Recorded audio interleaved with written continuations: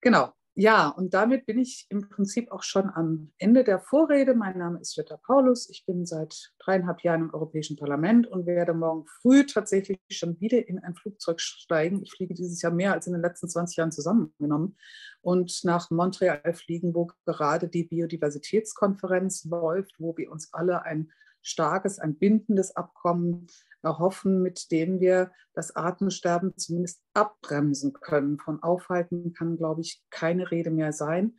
Und ähm, Professor Glaubrecht hat das auch sehr ausführlich und sehr gut verständlich dargelegt in seinem Sachbuch Das Ende der Evolution, der Mensch und die Vernichtung der Arten. Es ist keine leichte Lektüre, ich sage es gleich, aber wer viel darüber erfahren möchte, dem oder der sei es ans Herz gelegt. Aber jetzt die Bühne an Professor Glaubrecht. Vielen, vielen Dank, dass Sie da sind. Ja, schönen guten Abend. Herzlichen Dank, Frau Paulus, äh, für die freundliche Einführung, für die Einladung hierher. Ähm, wir haben das vorhin ja schon mal getestet. Mal gucken, ob es jetzt auch geht. Ich teile jetzt meinen Bildschirm. Sie müssten jetzt, wenn Sie mir dann kurz das Signal geben, die Folien sehen, die Foliensortierung. Und jetzt. Ja, ähm, alles das, klappt. Super. Perfekt. Dankeschön. Ähm, das sieht düster aus, so wie das Cover des Buches, aber ich kann versprechen, ähm, ich werde das beenden mit hoffnungsvollem Ausblick, so hoffe ich jedenfalls. Und ähm, inzwischen ist es auch, äh, glaube ich, allein schon dadurch, dass wir über viele der Ziele, die, als ich das Buch geschrieben habe, noch wissenschaftliche Absichtserklärung oder wissenschaftliche Erkenntnisse waren, die man in der Politik umsetzen sollte. Heute reden wir darüber auf großen Konferenzen. Insofern muss man sagen, haben wir eigentlich in den letzten Jahren durchaus schon einen Fortschritt ähm, gemacht. Ich werde jetzt auch versuchen, mich sehr kurz zu fassen. Äh, das Buch hat tatsächlich 1000 Seiten, von denen man, wenn man die Fußnoten und die Literatur nicht berücksichtigt, sich durch 800 hindurchgraben müsste. Wir versuchen das jetzt mal in ungefähr zehn Minuten mit den wichtigsten Fakten, die ich vielleicht als Grundlage für unser Gespräch hier kurz äh, präsentieren möchte. Was für viele Leute überraschend ist, ist, dass wir mit unseren Augenblickskrisen ähm, immer so ein bisschen außer Augen verlieren, welches eigentlich die großen Wellen sind, die da an unsere Küsten schwappen. Und diese Augenblickskrisen, ob das jetzt Covid-19 ist, wo wir dann denken, ha, wenn wir unsere Hände waschen, dann wird schon alles gut werden. Oder eben sehr lange auch denken, ähm, wir müssen das Klima in den Griff bekommen. Ja, das müssen wir auch. Aber es gibt in meiner Sicht noch eine viel größere Welle. Das sehen Sie hier. Das ist diese Biodiversitätskrise, das Artensterben. Und ich würde gerne versuchen, ein bisschen zu beleuchten, warum ich denke, dass dieses Bild, diese Karikatur hier etwas ist, was wir durchaus als Wissenschaftler äh, auch nicht nur behaupten, sondern auch einlösen können. Denn wir, wir sind inzwischen, deswegen wollen wir hier auch dieses Naturkundemuseum in Hamburg, für das ich verantwortlich bin, neu bauen und in Hamburg Evolutionärum nennen. Wir sind als Mensch inzwischen, das vergegenwärtigen wir uns zu wenig, der entscheidende Evolutionsfaktor auf der Erde geworden. Wir haben eben nicht nur die Geosphäre ähm, sozusagen äh, in unserer Mangel, indem wir Kohlendioxid und andere Treibhausgase in die Atmosphäre entlassen, sondern wir haben auch uns die Erde insofern untergetan, das sehen Sie hier an den Populationszentren von Nordamerika über Mitteleuropa ähm, bis äh, nach äh, Ostasien. Sie sehen, wie, wie sehr wir äh, durch unsere Lichtspuren allein sichtbar einen ökologischen Fußabdruck auf der Erde hinterlassen. Wir beherrschen die Biosphäre und das tun wir inzwischen so, dass wir durch unsere eigenen Produkte, also das, was wir als anthropogene Masse bezeichnen. Das ist das, was Sie hier mit diesen Blautönen, die dann so in Rot und Gelb übergehen, dargestellt sehen. Das sind die Metalle, Asphalt, ähm, die Ziegelsteine, ähm, Beton und so weiter. Diese von uns hergestellten Materialien haben rund um das Jahr 2020 plus minus sechs Jahre, wir wollen uns da nicht genau festlegen, haben sie das Äquivalent an Gewicht, an Masse erreicht, wie die gesamte durch Pflanzen und Tiere produzierte Biomasse der Erde. Das heißt, allein das zeigt schon eindrücklich, wie stark wir in die Biosphäre eingreifen, dass wir auf der Erde sozusagen menschengemachte Produkte haben, die so viel sind wie alles das, was die Vegetation und die Tiere ähm, produzieren. Und das führt zum Beispiel dazu, hier für den äh, IBBES, das ist der Weltbiodiversitätsrat, vergleichbar dem Weltklimarat, hier dargestellt die Warnung, dass wir in den nächsten Jahren und Jahrzehnten bis zu einer Million Tierarten verlieren werden, dass sie vom Aussterben bedroht sind, so wie die, die hier schon in Rot dargestellt sind. Und Sie sehen, in einigen Tiergruppen sind das schon 10, 20, ähm, bei den Palmfarn eben auch schon 40 bis 50 Prozent der Palmfarnarten, die vom Aussterben bedroht sind. Sie sehen auch, dass es in vielen Bereichen noch sehr grün ist, dass wir aber auch eine große Dunkelziffer, also Grautöne haben, für die wir eigentlich gar nicht genug Daten haben. Aber Sie sehen auch, das geht durch die Bank, durch alle Tier- und Pflanzengruppen hindurch. Wir können das noch sehr viel genauer beziffern, aber wir können es nur beziffern, und das sehen Sie auch in der linken Spalte äh, über die Zahl. Wir können das sehr genau beziffern oder versuchen genauer zu beziffern für die ungefähr zwei Millionen Tier- und Pflanzenarten, die wir bisher in der biologischen Systematik wissenschaftlich beschrieben haben. Wir erwarten aber durch Hochrechnungen, wie man das macht und so, das ist alles sehr kompliziert, lasse ich hier weg. Aber das Ergebnis ist, wir gehen davon aus, dass wir belastbar acht bis neun Millionen Tier- und Pflanzenarten auf der Erde haben. Von denen, von denen wir genauer äh, etwas wissen, sind nur ein Viertel und auch die werden nur zu einem Teil überhaupt mit Daten genau verfolgbar sein. Aber da, wo wir es wissen, da wissen wir, dass wir einen nicht unerheblichen Teil dieser Arten verlieren. Und jetzt könnten Sie argumentieren, naja, aber was erzählst du uns da? Du bist doch Evolutionsbiologe. Das gab es doch in der Erdgeschichte immer schon. Und eines der Irrtümer der Evolutionsbiologie oder verbunden mit diesem Ende der Evolution ist, dass man sagt, es gibt doch gar kein Ende der Evolution, was stimmt, aber ein Ende der Evolutionsprodukte, mit denen wir heute ähm, sozusagen äh, groß geworden sind als Art Homo sapiens. Und natürlich gibt es die Aussage, es gab das immer schon, es ist menschengemacht. Und wir wissen, das sehen Sie an diesen Einschnitten, es gibt mindestens, äh, wenigstens diese sechs großen Massensterben. Das letzte am Ende der, der, ähm, des Erdmittelalters, beim Aussterben der Dinosaurier, sind 70 bis 80 Prozent der ähm, Arten verschwunden. Und dann sehen Sie auch, wie lange es gedauert hat, nämlich 15 Millionen Jahre, bis überhaupt wieder etwas entstanden ist, was in der Masse, in der Quantität äh, diese Biodiversität, die verloren gegangen ist, äh, sozusagen wieder ausgeglichen hat. Das heißt, wenn wir Arten verlieren, dann ist das ein natürlicher Vorgang durch solche Massensterben, aber es dauert dann auch 15 Millionen Jahre oder länger, bis sich die Tier- und Pflanzenwelt von solchen Massensterben wieder erholt. Und neben diesem Vorurteil, dass das also Menschen, dass es natürlich ist, kann ich hier sagen, ich werde Ihnen zeigen, das, was wir heute haben, das sogenannte sechste Massensterben, eigentlich ist es das siebte, aber das spielt hier keine Rolle, ähm, ist ein menschengemachtes Massensterben, hat nichts mit natürlichen Vorgängen zu tun.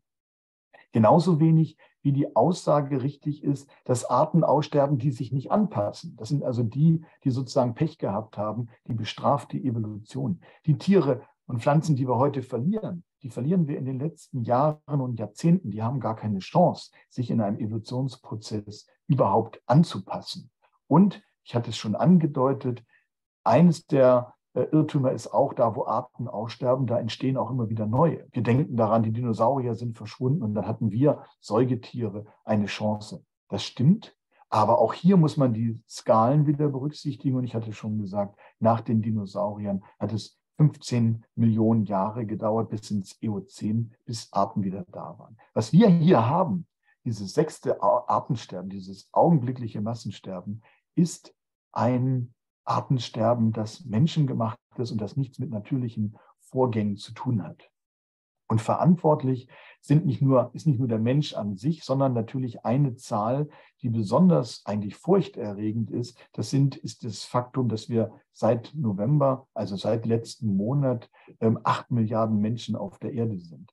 Und wir wissen, spätestens seitdem eine Physikerin, die Bundeskanzlerin der Bundesrepublik Deutschland war, Angela Merkel, uns das erklärt hat, da wissen, spätestens seitdem wissen alle, dass man so eine Kurve eigentlich als exponentielles Wachstum darlegen muss. Und zwar, weil zum Beispiel als ich geboren wurde, es ungefähr drei Milliarden Menschen gab. In unserer, in meiner Generation sind wir exponentiell auf acht Milliarden Menschen angestiegen. Und die Vorhersagen, das kennen Sie aus der Klimaforschung inzwischen.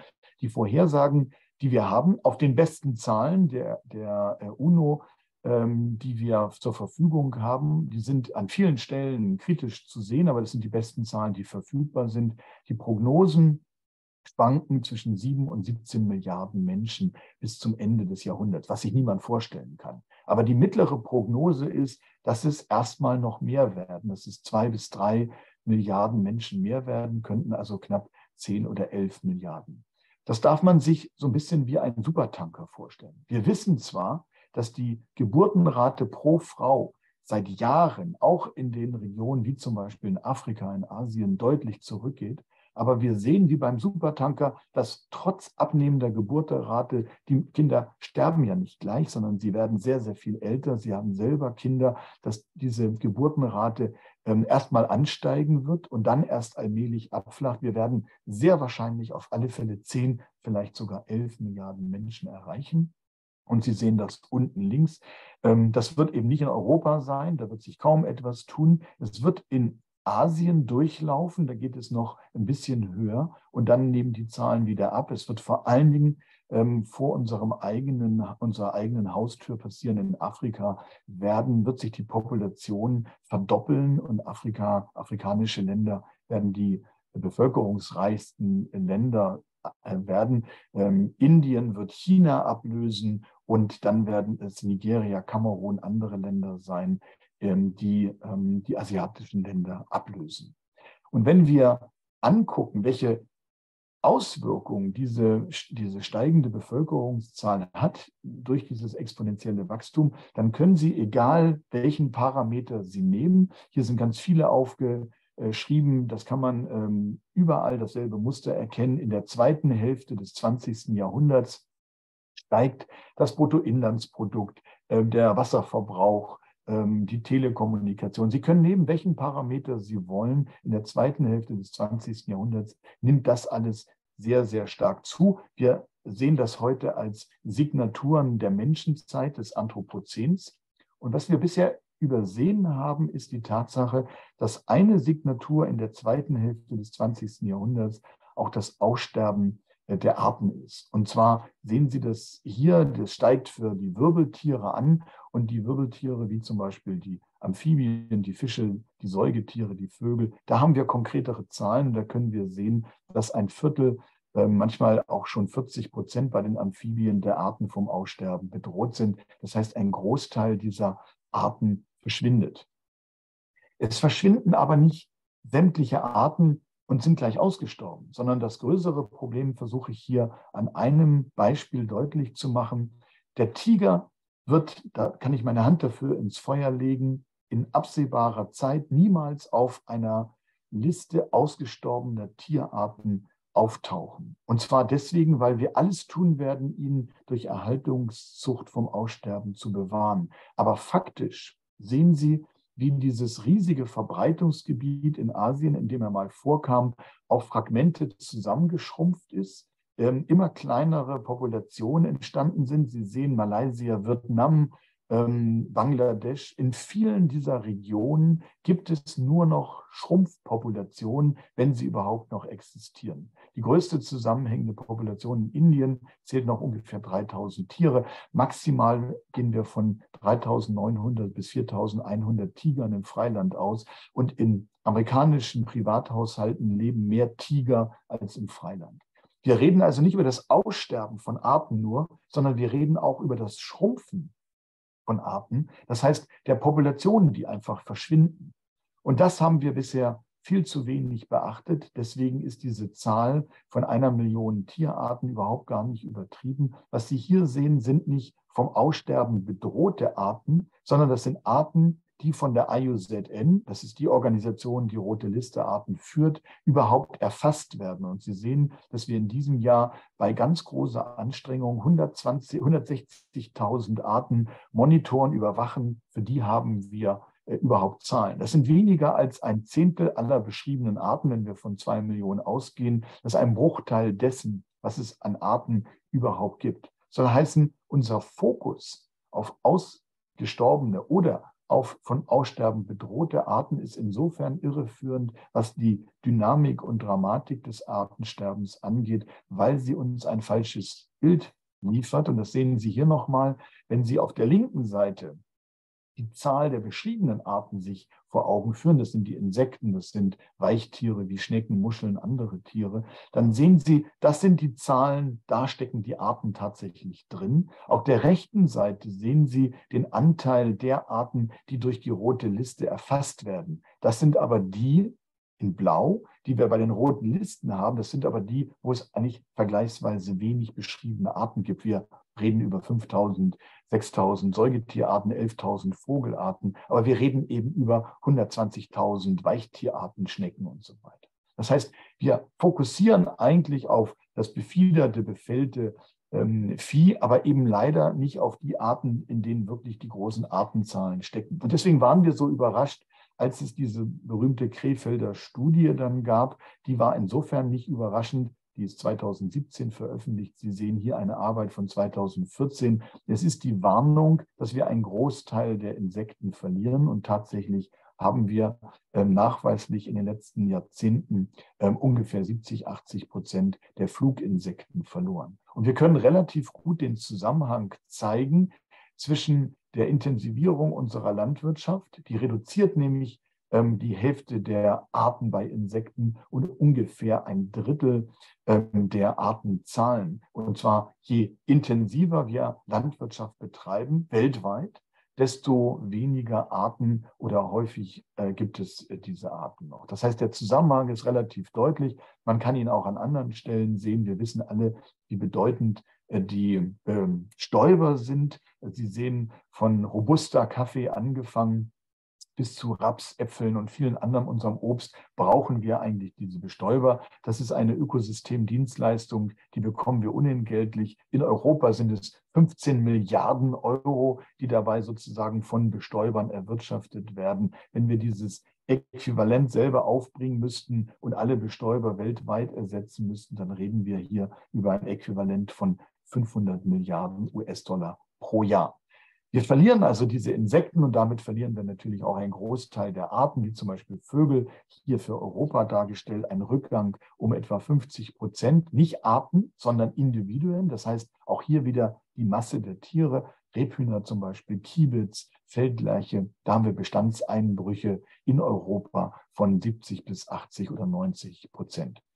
Für USA und Kanada, und das wäre eigentlich so eine Grafik, die man mit nach Montreal nehmen müsste, ähm, für die USA können wir sagen, dass über die ähm, Radardaten, die man aus Nordamerika hat, wir nachweisen können, dass bei untersuchten 500 Vogelarten seit 1970 etwa 30 Prozent verschwunden sind. Das heißt, wir haben hier, das übersetzt sich in drei Milliarden äh, Vögel, die ähm, verschwunden sind. Und wenn wir jetzt fragen, wo kommt das eigentlich her, dann sagen viele Leute, ja, der Klimawandel ist das. Der Klimawandel ist das, was Sie hier ganz rechts in Gelb dargestellt sehen. Und wir können eigentlich sagen, überall auf der Welt, egal wo Sie jetzt im Einzelnen genau hingucken, ob das die neue Welt ist, die alte Welt ist, ob das die Afrotropis ist oder Indo-West-Pazifik, aber mit einigen Einschränkungen, können wir sagen, der rote Balken überwiegt, egal welche Region und welche Tiergruppe. Und dieser rote Balken ist der Verlust des Lebensraums. Es ist das, was euphemistisch Lebensraumänderung genannt wird. Und Sie sehen, das hat eigentlich dieses Artensterben, der Artenschwund, hat verdammt wenig mit dem Klimawandel an sich zu tun. Eine Ausnahme sind natürlich die Fische oder die Korallen, die hier nicht aufgeführt sind im Indo-West-Pazifik, wo Meeresspie äh, Meeresspiegeltemperaturerhöhung ähm, vor allen Dingen eine äh, Auswirkung hat. Aber ansonsten nochmal, der Haupttreiber des Artensterbens ist nicht das Klima und nicht der Klimawandel,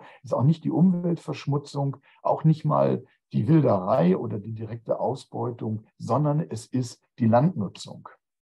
Das sehen wir natürlich, wenn wir in Gruppen gucken, die in Lebensräumen leben, die massiv verloren gehen. Das gehen sie seit Jahrzehnten. Aber wir müssen uns vor Augen führen, dass wir ein Drittel der Regenwälder allein in den letzten zwei Jahrzehnten verloren haben. Sie können das in Brasilien sehen. Da haben wir ein, eine Trendumkehr bedauerlicherweise, nachdem es in ein erfreuliches Tal gegangen ist, 2012, relativ wenig Regenwälder, die seitdem verloren gegangen sind. Und dann gingen die Zahlen wieder nach oben. Und wir wissen, dass heute wieder ungefähr in der Größenordnung von 10, 11.000 Quadratkilometern äh, Regenwald verloren gehen. Nicht nur in Brasilien, hier Bilder der letzten 50 Jahre für Borneo. Der gesamte Flachland-Regenwald in Borneo ist verschwunden in Indonesien. Und in dieser Region in Indonesien kann man sehen, das, was Brasilien sozusagen in dieser Zeit, in den ersten zwei Jahrzehnten an Waldverlusten eingespart hatte, sozusagen, das hat Indonesien wieder draufgelegt. Das heißt, hier hat der Waldverlust enorm zugenommen. Und wir haben immer Brasilien im Blick, aber gar nicht so sehr Indonesien. Und was da passiert, das haben wir aber alle schon gesehen. Hier wird ein Großteil der Landesoberfläche von Malaysia, von Indonesien zunehmend in Ölpalmplantagen äh, durch unsere Konsumeigenschaften und Angewohnheiten umgewandelt. Sie kennen das, 100 Produkte in Ihrem Einkaufskorb von Kosmetika bis hin zu Nutella haben eben große Anteile von ähm, Palmöl und diese Plantagen haben in den letzten zwei, drei Jahrzehnten an Quadratmetern in ungeheurem Ausmaß ähm, zugenommen. Was das bedeutet, kann man an Singapur sehen. Hier in Singapur in den letzten 200 Jahren, erst durch ähm, Plantagenanbau, dann durch die Urbanisierung, heute eine der am dichtesten besiedelten ähm, städtischen Zentren, hat Verluste der natürlichen Vegetation und vor allen Dingen der Arten in der Größenordnung von 70 bis 80 Prozent. Wenn man das extrapoliert, also hochrechnet auf ganz Südostasien würde das bedeuten, dass wir die Hälfte ähm, der Tiere und Pflanzen in Südostasien verlieren, wenn wir ähnlich gigantische Waldverluste haben, wie sich das in Singapur in den letzten 200 Jahren nachweisen lässt und wie es sich in vielen anderen Erdregionen leider eben jetzt auch in Südostasien andeutet. Das hat unmittelbare Konsequenzen auch für unsere eigene Gesundheit. Es ist nicht nur unsere Ernährung, sondern es ist auch unsere Gesundheit, die unmittelbar davon abhängig ist. Wir können sehr, sehr gut inzwischen nachweisen, dass das, was in Wuhan passiert ist, SARS-CoV-2, die Corona-Pandemie, die dort entstanden ist, ihren Ursprung eben nicht in Wuhan hat, in einem städtischen Populationszentrum, sondern dass es Viren sind, die immer stärker in unseren Kontakt miteinander mit den Menschen kommen, die es aber natürlicherweise in Fledermäusen in ganz Südostasien gibt. Es hat auch nichts mit dem Pangolin zu tun. Das, der Pangolin, äh, dem wurde das buchstäblich unter die Schuppen geschoben, ist ein Fehlwirt, der mit der eigentlichen Pandemie sehr wenig zu tun hat, sondern der entscheidende Faktor ist, dass die Tiere hier immer mehr ihren Lebensraum verlieren und dass wir immer mehr in Kontakt mit diesen Tieren kommen, dass sie durch Wilderei, durch die Wildmärkte eben dafür sorgen, dass wir sie auch in der menschlichen Population immer mehr verbreiten können. Und wir können das sehr gut nachweisen, dass das auch nicht allein ein Problem Chinas ist, dass die also nicht in China, auch wenn die Pandemie da aufgetreten ist, nicht wirklich aus China stammt, sondern diese Fledermäuse, das sehen Sie hier, äh, die finden sich eben nur zufällig in dem Pangolin. Sie finden sich, Sie sehen das an den hohen Prozentsätzen, 96 Prozent. Die, die am dichtesten mit dem menschlichen Virus verwandt sind, stammen aus laotischen Fledermäusen. Das heißt, ähm, hier haben wir in Südostasien das Problem, überall da, wo Wald verloren geht, bringen wir äh, die Ökologie dieser Lebensräume durcheinander und wir setzen dann Viren frei, die auch für uns gefährlich sind und unsere, ähm, unser, unsere Gesundheit bedrohen können. Das heißt, diese Tierwelt, diese Biodiversität, die ist in vielerlei Hinsicht unsere Lebensversicherung. Aber ich wollte ja auf eine, mit einer freundlichen Nachricht sozusagen enden, damit das Ganze nicht so düster ist. Was können wir lernen? Wir können eine Sache von der, von der Klimaforschung lernen, nämlich dass sie hochkomplexe Zusammenhänge in eine einfache Formel gepresst haben. Wir haben alle verstanden, wir haben schon 1,2 Grad Celsius. Wir haben alle verstanden, dass wir nicht wärmer werden dürfen als 1,5 oder 2 Grad insgesamt auf der Erdoberfläche. Hochkomplexe Dinge, die wir in eine einfache Formel pressen. Genau das und noch hochkomplexer sind ökologische, biologische Zusammenhänge. Genau das fehlt uns, diese Formel fehlt uns eigentlich bisher beim Abwenden der Biodiversitätskrise. Und deswegen ist es ein erklärtes Ziel, nicht mit irgendwelchen Aussterberaten zu operieren, wie das einige meiner Kollegen sehr lange betrieben haben, auch nicht mit rote Liste Arten zu arbeiten, die geben, wie dargestellt, kein richtiges Bild abliefern, sondern zu sagen, wenn der Haupttreiber des Artensterbens, des Artenschwundes, wenn der Haupttreiber der Lebensraumverlust ist, dann müssen wir genau diesen Lebensraum auch schützen. Und wir schützen bisher 15, inzwischen dürften es 17 Prozent weltweit sein an Land und 7 oder 8 Prozent in den Ozeanen. Und jetzt ist die an, an sich erstmal utopisch klingende Formel 30-30 auf der Grundlage einer sehr genauen wissenschaftlichen Analyse von 850 terrestrischen Ökoregionen der Erde schlagen Forscher um Eric Dienerstein vor, bis zum Jahre 2030 30 Prozent der Erdoberfläche unter Naturschutz zu stellen. Und einige gehen noch weiter und sagen, wir müssen bis Mitte des Jahrhunderts erreicht haben, dass wir 50 Prozent unserer Erde tatsächlich schützen, dass wir sie renaturieren, dass wir einen besseren Flächenschutz jedenfalls ähm, herstellen. Das mag utopisch ähm, klingen, und utopisch aussehen. Aber wenn Sie sehen, dass wir jetzt ungefähr, das ist das Grün, die grünen Regionen, dass wir diese als wenigstens auf dem Papier, also als Paperparks, als Schutzgebiete ausgewiesen haben, wenn Sie sehen, dass wir dann eine Hälfte der Erde haben, die wir selber nutzen durch unsere Siedlungen, durch unsere äh, Land, für unsere Landwirtschaft, dann sehen Sie, dass es aber auch noch Regionen der Erde gibt. Das sind zwar auch boreale Regionen, also die, die nicht durch besonders große ähm, Artenvielfalt hervorstechen, dass es aber auch Regionen gibt, die wir tatsächlich schützen können und damit Wildnisgebiete haben, in denen es sich lohnt, ähm, Flächen tatsächlich auszuweisen für diesen großen ähm, Artenschutz.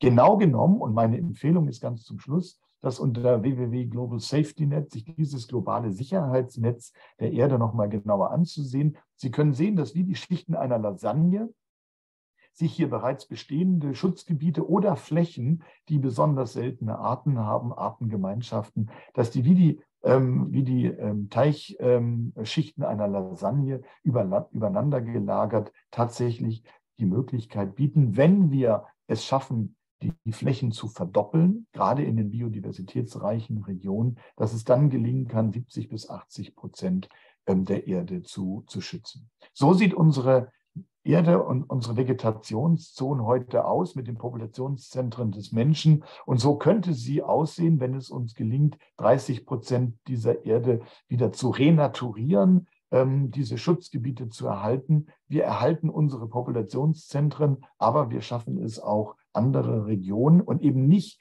exklusive Wildnisregionen, sondern vom Menschen sinnvoll genutzte Regionen, in denen wir auch Ackerbau und Landwirtschaft betreiben, aber in einer Art und Weise, die nicht tödlich und vernichtend für die Artenvielfalt ist. Das wollte ich Ihnen ganz kurz skizzieren, bis wir in das ähm, Gespräch gehen. Und danke für Ihre Aufmerksamkeit, Ihre Geduld. Und äh, ich würde meine Freigabe stoppen und Frau Paulus das Wort wieder an Sie geben. Ja, ganz herzlichen Dank, die Rache des Pangolin. Ich habe es sofort aufgeschrieben, das habe ich nämlich noch nicht. Ja, das ist auch erst vor einer Woche erschienen. Aber ah, das erklärt es. Es ist sozusagen die, das ist sozusagen, ich will nicht sagen die Fortsetzung, aber es ist der ähm, Corona-Pausenbedingte ähm, ähm, die Weiterentwicklung eigentlich dessen. Ähm, es ist der Lebensraumverlust, den wir an ganz vielen anderen Stellen ähm, sehen. Und äh, es ist hier der Blick auf Zoonosen, die eigentlich unsere Welt äh, Geschichte, die Weltpolitik viel mehr bestimmt haben, als wir denken. Und man kann nachweisen, dass auch bei historischen ähm, bei historischen Pandemien es Weltereignisse sind, aber immer Zoonosen gewesen sind. Ähm, das heißt, Corona ist insofern nichts Besonderes, weil alle diese Zoonosen haben immer Wendemarken in der, ähm, in der Weltgeschichte eigentlich bedeutet. Also wir könnten auch sagen, nichts Neues, aber wir lernen daraus auch, immer wenn äh, der Mensch äh, anfängt, äh, seine Lebensweise und die Lebensräume zu verändern, dann endet er auch mit Pandemien. Das muss uns eine Warnung auch für die Zukunft sein. Ja, da habe ich das Buch von Karl Harper zugelesen, der also auch den Untergang des Römischen Reichs mit Pandemien und aber auch Klimaveränderungen ähm, ganz genau. zusammenbringt. Genau. Ja, das war, eine, das war eine ganz wichtige Quelle und man kann es bei, man kann es äh, in den historischen ähm, Quellen sehen, die attische Seuche, ähm, gerade die justizianische Pest, aber dann im Mittelalter auch wir haben immer gedacht, weil wir so einen Europablick haben, 1347 kommt das vom Schwarzmeer dann in, nach Europa. Es ist schon 100 Jahre vorher in Asien unterwegs gewesen und heute erst durch, die, durch das Quellenstudium asiatischer Texte wissen wir, diese Pestpandemie gab es schon vorher. Ähm, aber es ist durch die Änderung der Lebensweise des Menschen ausgelöst worden. Ähm, also tatsächlich so wie heute. Wenn wir in die Lebensräume der Tiere eindringen, ernten wir Pandemien. Das müssen wir versuchen, in den Griff zu bekommen. Ja, da hat ja auch der IPES einen bahnbrechenden Workshop-Bericht eigentlich abgeliefert, relativ kurz sogar nachdem ähm, Corona eben seinen Siegeszug rund um die Welt angetreten hat. Und das ist aber so ein bisschen sang- und klanglos untergegangen. Also ich versuche das natürlich auch immer wieder, sei es in den Ausschusssitzungen oder auch bei persönlichen Gesprächen, immer wieder deutlich zu machen. Ich bin ja, ja auch ähm, Koordinatorin für unsere Fraktion im Sonderausschuss Covid. Also das Europäische Parlament hat einen Sonderausschuss Covid. Welche Lehren ziehen wir aus der Pandemie? Hm. Geht natürlich in mehrere Aspekte. Ne? Also Gesundheit, aber auch Demokratieeinschränkungen, wirtschaftliche Folgen und so weiter. Wie können wir das nächste Mal besser vorbereitet sein? Und dieser Ansatz One Health, also man muss quasi die Gesundheit der Menschen, der Tiere und der Umwelt zusammendenken. Sie glauben nicht, was für Schwierigkeiten ich habe, das überhaupt auf die Agenda setzen zu lassen. Ja, ja das also, wundert mich, weil ich finde, das ist natürlich überzeugend. Äh, viele Menschen, denen muss man ja vorrechnen und das fangen ja die Ökonomen inzwischen auch an. Vielen Leuten muss man ja nur vorrechnen, was kostet uns das Ganze eigentlich? Und es kostet uns letztendlich ein Bruchteil weniger als das, was wir jetzt ausgeben mussten, um wenigstens die Spitzen dieser katastrophalen wirtschaftlichen Folgen abzupuffern. Ähm, und man hätte natürlich viel, viel besser dieses Geld mit dem Blick vorher äh, investieren können. Jetzt kann man sagen, ja, du kannst es vorher nicht ausgeben, du wusstest ja nicht, was passiert. Doch natürlich wussten wir das. Nicht nur. 2012, wir, ne, gab ja den Bericht. Mhm. Ja, es gab 2012 den Bericht, aber wir haben eigentlich auch verpennt, jedenfalls in Europa, nicht Singapur und Taiwan, aber die hatten SARS 2003, Eben. 2004. Eigentlich waren wir gewarnt, was passieren würde, wenn so ein die oberen Atemwege befallendes Virus sich relativ schnell ausbreitet. Das war eine Warnung. Deswegen ist Singapur und Taiwan ja in der ersten Reaktion auch sehr, sehr gut damit umgegangen, viel besser als das andere Länder gemacht haben. In den USA zum Beispiel. Also ich muss zu, meiner Schande gestehen, ich bin Ende Februar 2020, ja, da war New York längst infiziert zwei Wochen später ging da gar nichts mehr, da hat man das dicht gemacht, sind wir noch in den USA unterwegs gewesen. Wir haben alle nicht so richtig geahnt, wie weit dieses Virus eigentlich schon vorgedrungen ist, bevor wir das dann alle in den ähm, Nachrichten sehen, weil die, weil die Intensivplatzbetten nicht mehr ausreichen. Aber wir waren natürlich gewarnt durch ähm, SARS, durch MERS, aber auch durch den Bericht. Ähm, aber keiner hat so richtig darauf ähm, reagiert.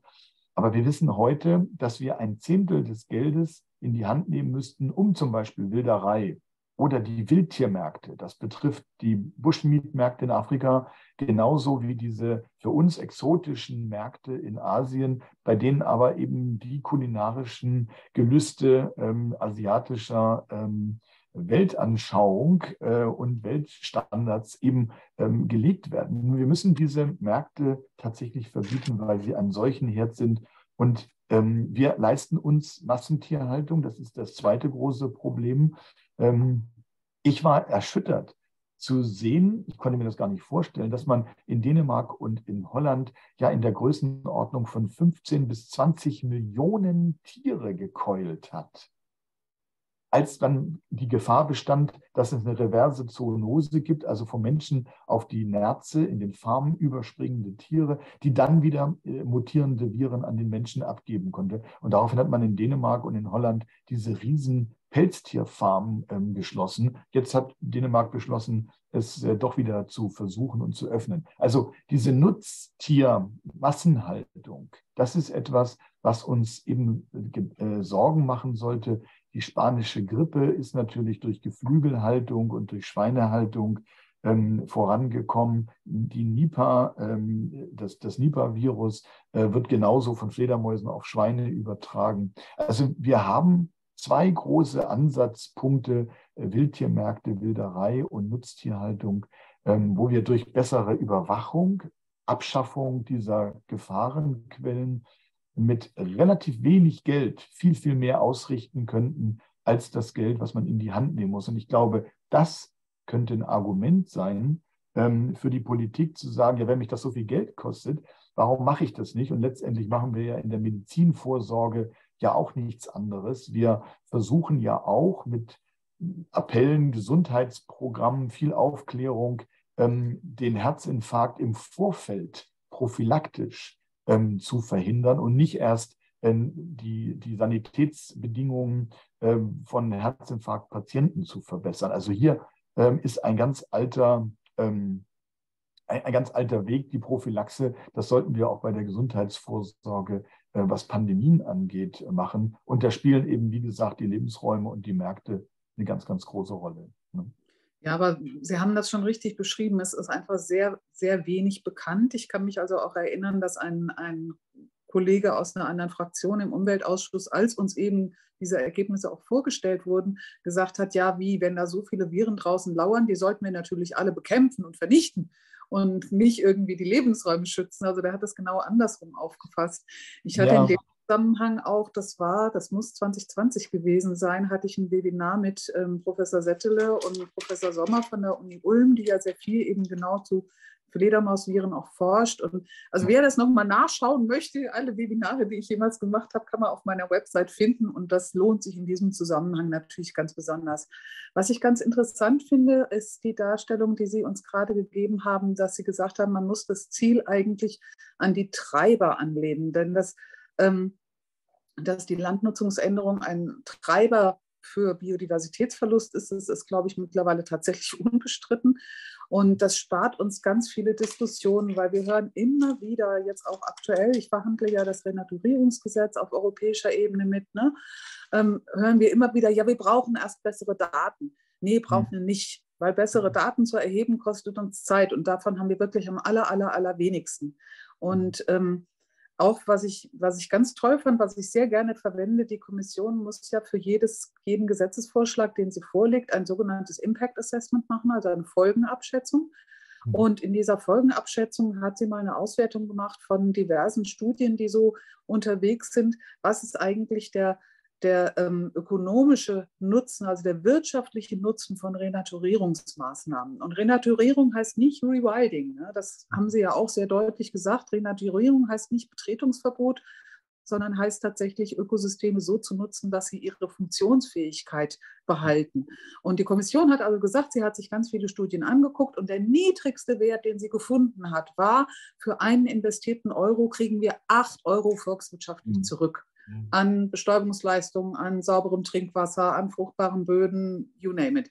Mhm. Und das ist dann so ein Argument, wo dann auch so die konservativen Kolleginnen und Kollegen mal kurz innehalten, weil ich diese Bezeichnung konservativ überhaupt nicht leiden kann. Weil wenn sie etwas bewahren wollen würden, müssten sie sich bei Artenvielfalt ein bisschen anders verhalten. Ja, da hat Ihre Partei leider, ist ein bisschen später gekommen, eigentlich hat sie den falschen Namen, nicht? weil bewahren wollen wir ja eigentlich genau dieses. Ähm, also ich, ich, bin da, ich bin da völlig bei Ihnen. Wir, wir haben ja eine ganze Reihe von Argumenten und Argumentationen so durch die Jahrzehnte probiert, äh, und natürlich muss man, kann man natürlich auch kritisch sehen, müssen wir so utilitaristisch daran gehen, müssen wir uns immer ein Euro und ein Wert sozusagen erst vorstellen, bis wir was schützen. Und ich fürchte, ja, das müssen wir. Äh, man kann auch kritisieren, dass wir jetzt von der Menschenzeit sprechen, vom Anthropozän. Ist das nicht wieder die Hybris des Menschen? Und wir müssen sagen, viele Menschen werden wir nur dann mitnehmen, wenn wir ihnen sagen, ähm, warum das ein wichtiger Verlust ist. Denn ich bekomme ganz häufig die Frage, was passiert denn jetzt, wenn in der Schweiz das Wiesenvögelchen verschwindet? Ja, da passiert erstmal natürlich gar nichts. Und ähm, andere fragen mich, ist das denn so schlimm, wenn wir jetzt die Stechmücken nicht mehr haben? Dann, ähm, dann stechen die mich auch nicht mehr. Ja? Ähm, natürlich, aber die Biomasse der Insekten, das haben wir jetzt, glaube ich, alle verstanden, ist eben nicht nur lästig auf der Windschutzscheibe von Autos, sondern sie ist eben da, in den Sommermonaten, weil es die ähm, Ernährungsgrundlage für ganz, ganz viele Tiere ist. So, das würden die meisten Menschen aber nicht äh, überzeugen. Die würden sagen, ja, das ist ja ganz schön, aber das betrifft ja nur die Zoologie. Laubrecht, okay, das interessiert dich jetzt, aber das ist für uns irrelevant. Und wir müssen natürlich schon vorrechnen und sagen, nein, das ist nicht irrelevant. Und deswegen fand ich äh, IB Best, der dann mal sich speziell mit Bestäuberdienstleistungen und Ökosystemdienstleistungen beschäftigt hat, das war, glaube ich, ganz wichtig, dass man da mal Zahlen äh, verwenden kann. Und solche Zahlen und solche Studien gibt es jetzt sehr, sehr viel häufiger. Und der Dasgupta Report ähm, vor ein paar Jahren hat das ja mal sehr gut zusammengefasst. Man muss vielleicht immer erstmal äh, diese ökonomischen Auswirkungen sich vorrechnen lassen. Und das müssen wir eben auch bei den Pandemien machen, dass es uns eben jetzt so viel kostet, weil wir vorher an der falschen Stelle gespart haben. Und deswegen ja, ich glaube, letztendlich kann es nur darum gehen, gerade weil wir ja insgesamt den, das Artensterben genauso wie den Klimawandel in Zusammenhang mit der Transformationsnotwendigkeit unserer Wirtschaftsweise sehen. Und da kommt es ja schon darauf an, wo kann ich dann mehr erwirtschaften? Ähm, wird das alles, äh, brechen mir andere Wirtschaftszweige und Einnahmen weg? Wir transformieren die Gesellschaft, da muss man aber auch sagen, was ist der Preis dafür und was bringt es uns an anderer Stelle? Und hier darf man auch, muss man auch sehr ehrlich sein und sagen, wir sitzen tatsächlich auf dem äh, wir sitzen auf einem Ast, auf dem wir, an dem wir sägen, wenn wir unsere Ernährungsgrundlage und unsere Gesundheitsversorgung, wenn wir die gefährden, ähm, dann ist es schon ein Ast, äh, an, an dem wir sägen. Und ich glaube, das wird vielen Menschen jetzt klarer, die vorher nicht gesehen haben, warum sie selber für ihr Leben eigentlich von ähm, Ökosystemdienstleistungen und funktionierenden Ökosystemen ähm, abhängig sind. Und ich glaube, dieses Bewusstsein, ähm, dass wir von der Natur, von den Arten abhängig sind, äh, das ist schon etwas, das wandelt sich. Ich bin übrigens überzeugt, dass wir leider durch unsere, ähm, durch, in unserem christlichen Abendland, das da durch griechische Philosophie seit 2000 Jahren geprägt ist, dass wir da ein falsches Naturverständnis haben. Denn wir sind ja nach griechischem äh, Leitbild ja immer so, so ein bisschen was wie Halbgötter, nicht? zu dem sich der Mensch da selber stilisiert hat.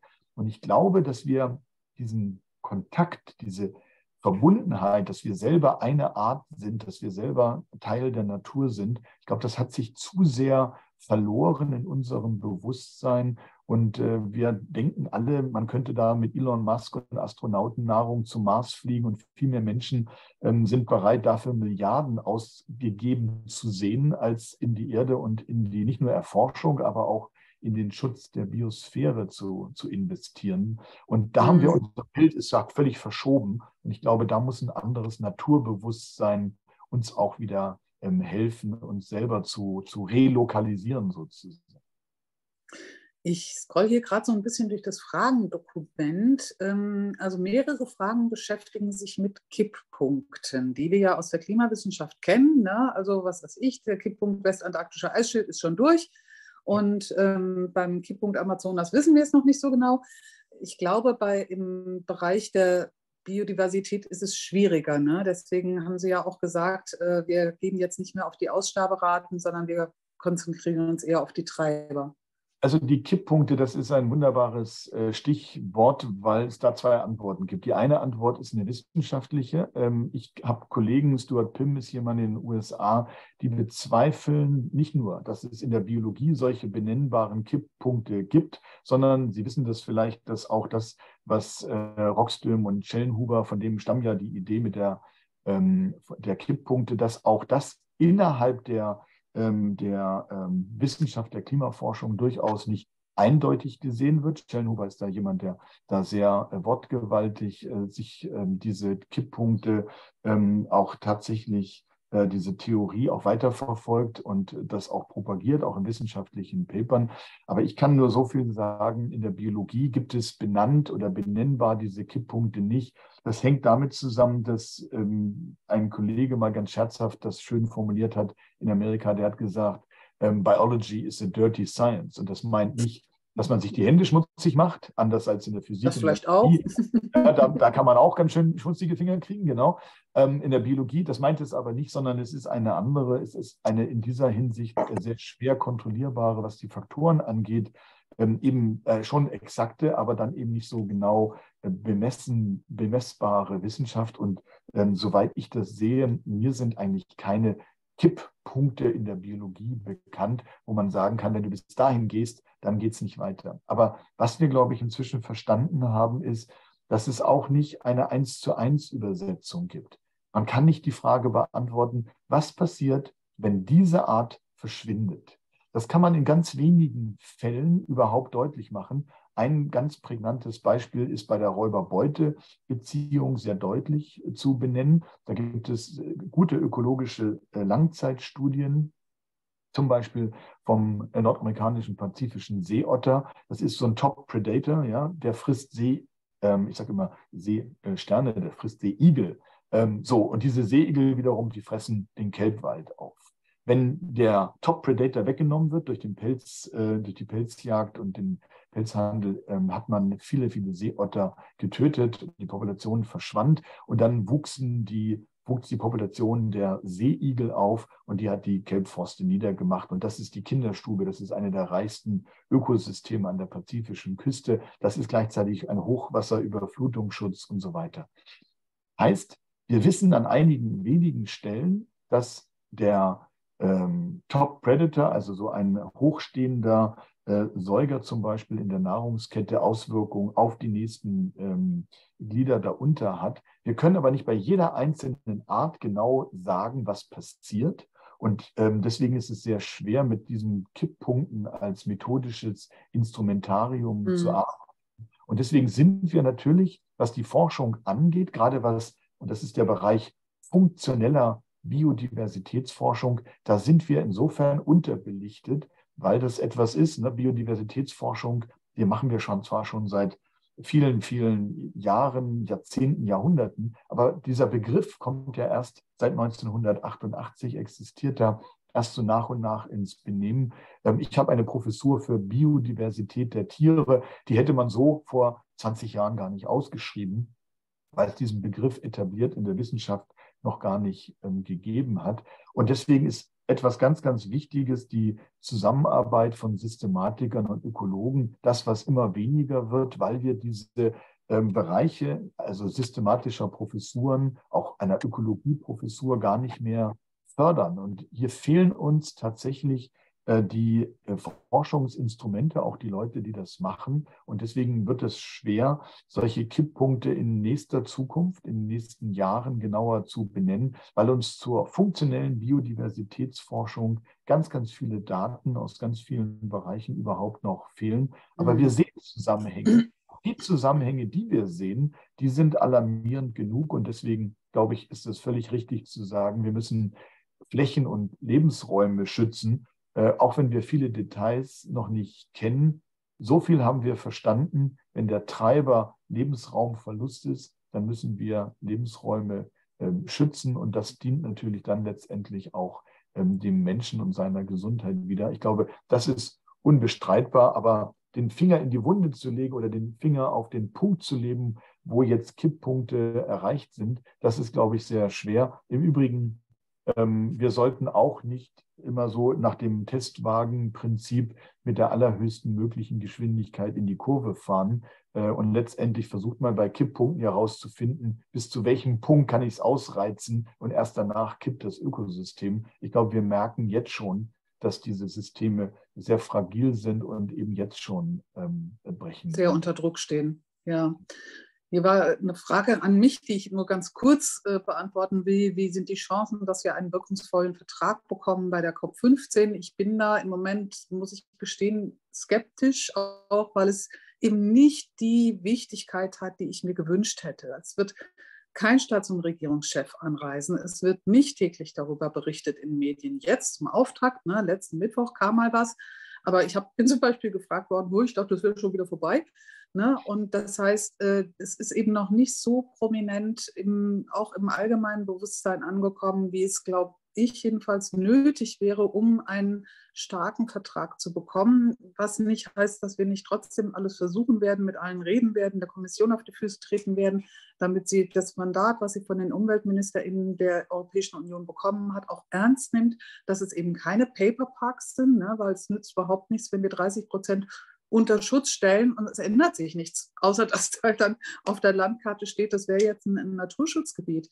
Das hängt ein bisschen damit zusammen, was ich hier auch als, als hochgevotete Frage habe, wie, wie viele Schutzgebiete wir denn in Deutschland hätten, welchen Anteil und ob Landschaftsschutzgebiete dazuzählen. Also Deutschland hat tatsächlich die Landschaftsschutzgebiete nach CDDA, also das ist so ein, so ein Rahmenwerk, nach dem äh, eben Naturschutzgebiete oder auch Nationalparks ähm, gemeldet werden, hat die Landschaftsschutzgebiete nach CDDA gemeldet, aber es ergibt eigentlich keinen Sinn, weil viele Landschaftsschutzgebiete sind wirklich weil da irgendwelche historischen Sichtachsen sind oder aus touristischen Gründen, haben also mit Naturschutz erstmal sehr wenig zu tun.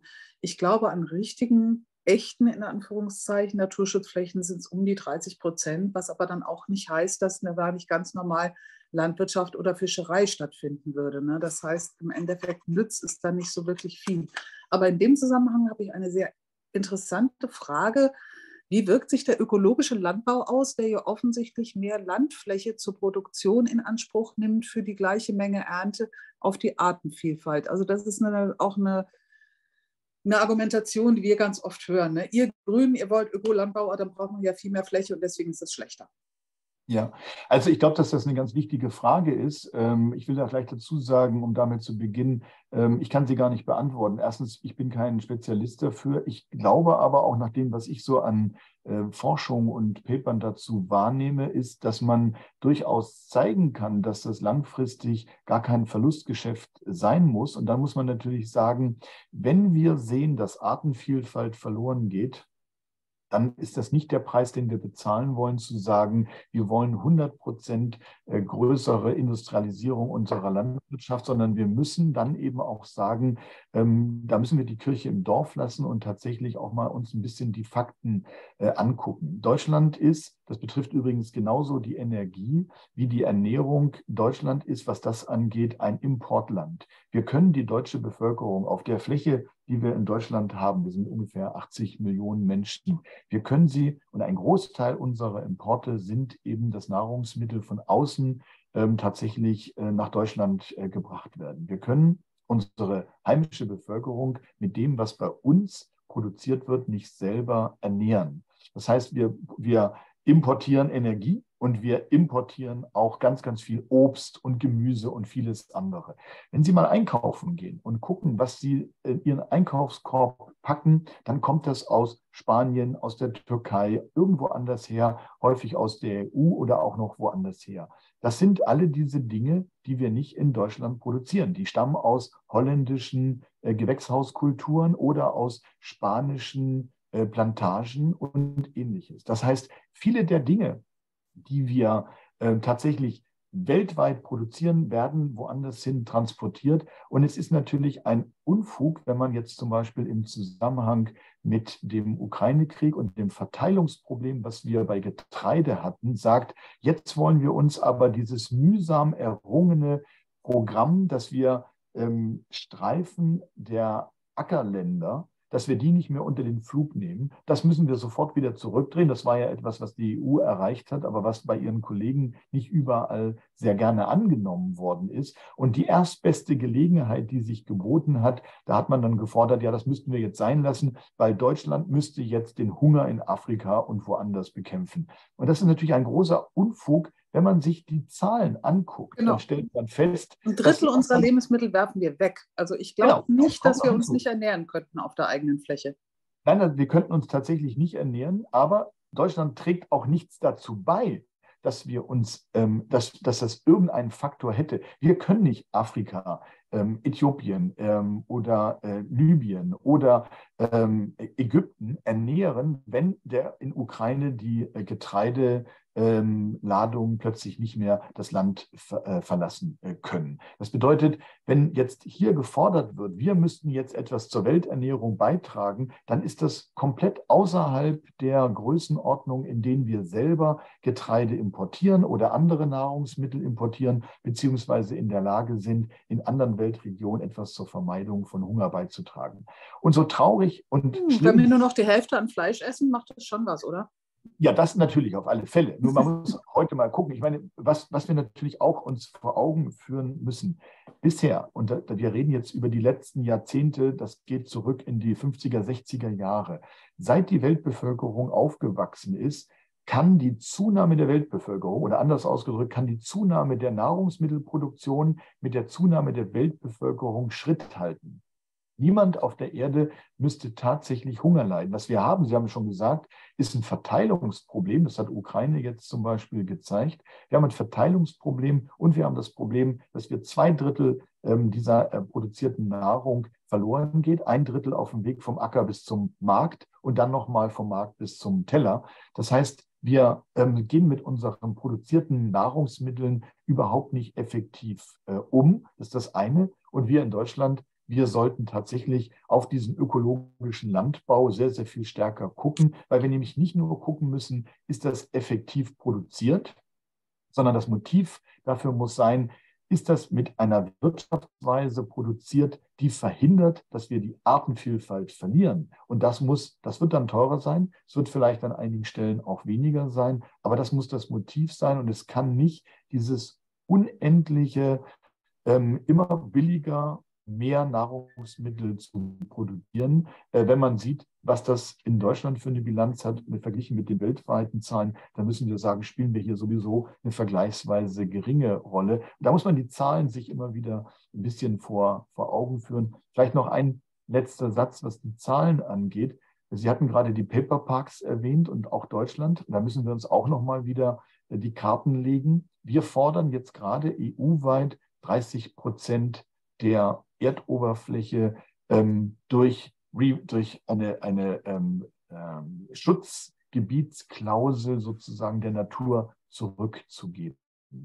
In Deutschland gibt es 0,6 Prozent der Staatsfläche, die einen strengen Naturschutz haben. Das sind nämlich die Nationalparks. Und selbst in den Nationalparks, nehmen Sie das Wattenmeer, da darf man, ne, wir machen das jetzt gerade zum Beispiel Elbschlamm verklappen und ähnliches. Wir dürfen in jedem Naturschutzgebiet weiterhin Landwirtschaft betreiben und wir dürfen auch Forstwirtschaft betreiben. Sie dürfen da mit einem Harvester reinfahren, den Boden verdichten und anderes machen.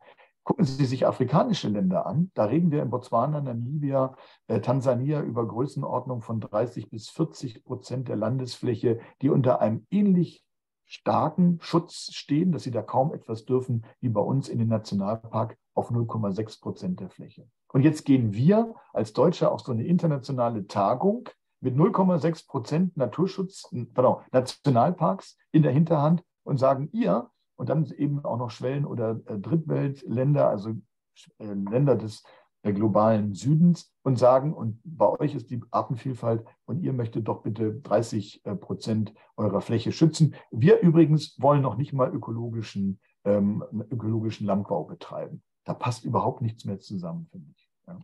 ja. das kann ich bestätigen und wir, wir haben auch sehr stark dazu dafür uns eingesetzt, dass wir sagen, wir müssen auch die Indigenen beteiligen, verdammt nochmal.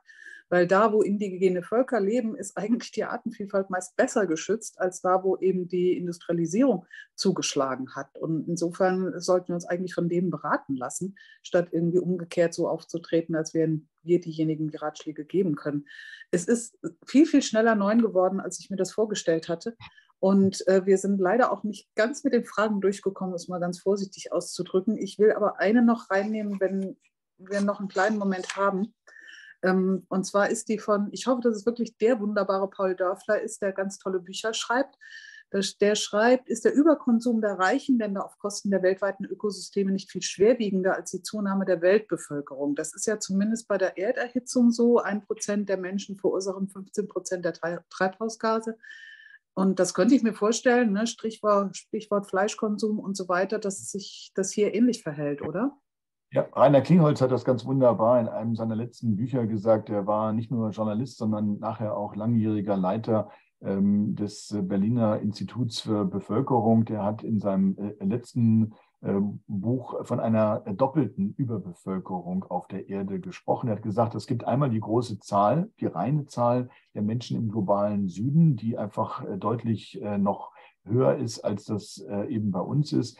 Ähm, und die zweite Überbevölkerung, die besteht äh, nicht in der reinen Zahl, sondern in den Konsumeigenschaften im globalen Norden. Das sind zwar weniger an reiner Zahl, aber sie konsumieren oder verbrauchen sehr, sehr viel mehr Ressourcen. Wenn wir zum Beispiel daran denken, dass es ja unsere Konsumeigenschaften und unsere Märkte sind, äh, die Palmöl überall einsetzen, die dafür verantwortlich sind, dass im globalen Süden äh, so viel Biodiversität äh, über diesen Landverbrauch tatsächlich vernichtet wird, dann müssen wir sagen, ähm, vergleichsweise wenige im globalen Norden sind möglicherweise noch fataler, äh, was sozusagen ökologische Prozesse auf der Erde angeht, als die Menschen, die in reiner Zahl deutlich weniger hohe äh, Konsum- und Ressourcenansprüche haben. Und deswegen ja, es gibt zwei Arten von Überbevölkerung. Beides wirkt aber negative, in negativer Weise zusammen.